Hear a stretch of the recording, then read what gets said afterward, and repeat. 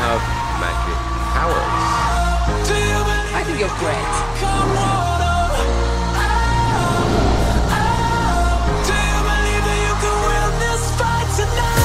I loved it.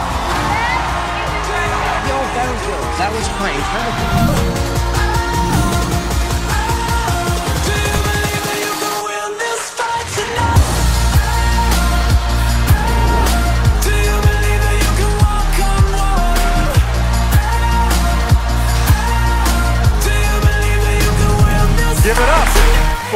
Please ah. welcome one of the world's top illusionists.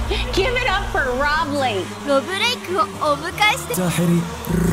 American magician. Rob Lake. I think you put on a great show. It was very unique.